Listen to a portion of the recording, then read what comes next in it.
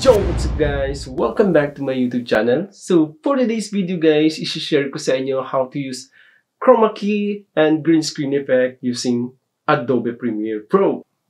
So guys, kung hindi pa pala kayo guys nakapag-subscribe sa aking channel, please do subscribe to my YouTube channel and click the notification bell para ma-notify kayo every time I upload a video. Without further ado guys, let's go to Adobe Premiere Pro. Create na tayo guys ng new project. So alright guys, uh, i-drag na natin yung mga gagamitin nating video footage and green screen effect sa ating Adobe Premiere Pro.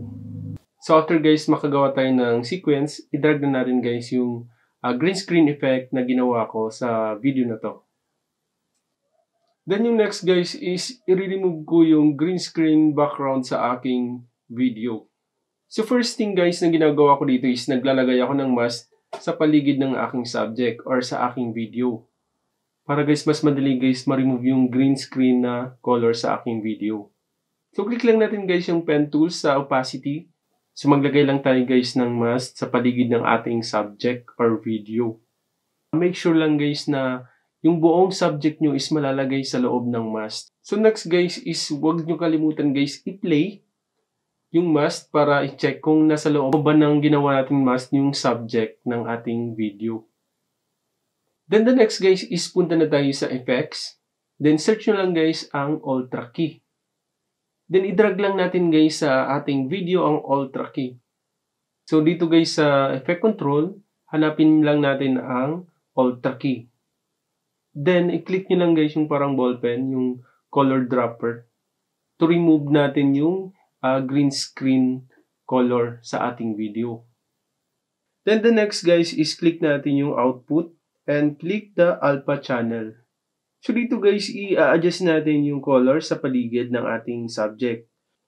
So dapat dito guys, ang matitira lang sa ating uh, video is yung white subject sa ating video. So click lang natin guys ang matte generation. Then i-adjust lang natin guys yung highlight and the shadow. So i-click lang ulit natin guys yung composite. So para i-check natin kung may mga color pa bang natira sa ating paligid ng video subject.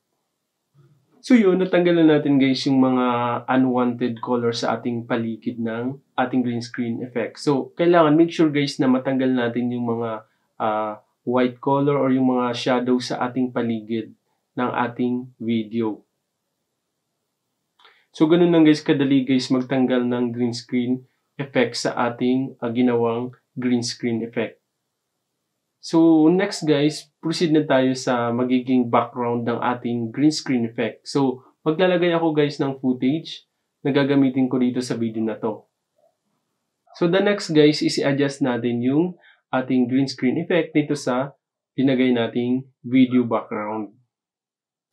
So, the next guys is maglalagay akong green screen effect which is the helicopter kung saan ito yung gagamitin ko sa video na to. So the next procedure guys is same pa din dun sa ating pag-remove ng ating uh, green screen effect. So punta lang tayo sa effects, then i-search nyo lang guys yung Ultra key. Then ida-drag lang natin guys dito sa green screen effect. So punta ulit tayo guys dito sa effect control. Then dito sa Ultra key, uh, kunin nyo lang guys itong color dropper. Then i-remove lang natin itong uh, green screen color sa ating video. Then the next guys is nag-add ako ng green screen effect which is the effect sa ating explosion ng ating uh, video. So ganun pa din yung procedure. So i-drag lang ulit natin yung Ultra key. Then dito sa effect control, pindutin ulit natin yung color dropper. Then i-click natin guys dito sa green screen color ng ating video. So the next guys is naglagay ako ng crack glass sa aking last part ng aking video. So, same pa din guys yung procedure. Drag natin guys yung Ultra key sa ating video. Then, i-remove natin using a color dropper. So, naglagay ulit ako guys ng green screen effect, which is the smoke, para mas mapaganda natin guys yung effect ng ating video. So yun guys, tapos na akong gumawa ng aking video, which is the green screen effect, and naglagay ng mga green screen effects sa aking video. So, ayun, i-play natin guys.